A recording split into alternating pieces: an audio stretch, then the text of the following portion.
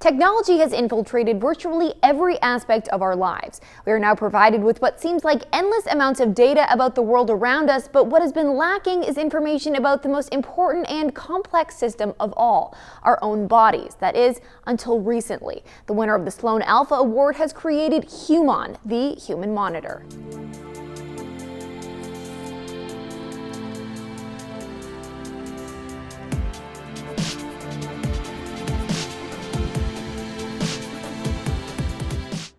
You know, it seems crazy that you know you wake up, you drive to work, and you know more about your car and what to do with your car than your own body. So everything started um, as part of a research project um, where we did with MIT Sloan, where the premise was that technology and biology would come together to create something amazing to help all of us understand more about our body.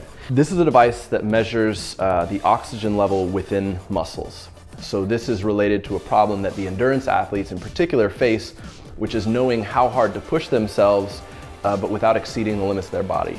So we basically went out into the market and asked a whole lot of people uh, one question, which was if there was one thing that we could tell you about your body that would change your life, what would you want to know? They told us their lactic acid threshold because again, this is what they know today is kind of associated with this, this limit and how to train. The way to identify your body's limit today is to do this lactic acid threshold test. So to go to a lab, train on a treadmill, stationary bike, while a nurse will come prick your fingers every three to five minutes to identify the intensity at which lactic acid starts accumulating. And that's an expensive, invasive, inconvenient process um, that you know you cannot leverage every day. You know, whereas with this device, you just strap it on and go. It's a wearable that works on any skin type, any skin color, any muscle, any fat level, any type of athlete. We shine a light or multiple different colors of light into the muscle.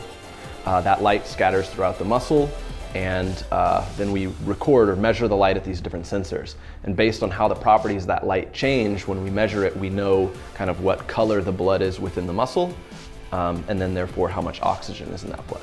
We've shipped this device to this small community of alpha testers so they can help us understand how these athletes want the feedback. So, you know, we're, we're, kind of thinking of integrated feedback on a watch, maybe vibration, taptic feedback, um, having it connect to your bike computer, your smartwatch. This is um, a bunch of things we can do. We just want to make sure we do the right ones at the right time. And that's why today we just did the mobile app to kind of stay focused and, and we're in the process of integrating the rest uh, before launch. The goal was really to just get it out on, on pros and, and kind of give it out.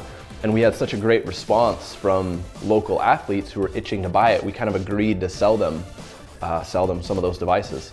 So uh, we've kind of, you know, essentially asked them to do something that ordinarily we would have had to pay them for, which is doing interviews and filling out surveys and coming to our office and really kind of working for us. But they were so excited about it, uh, they were willing to pay for it.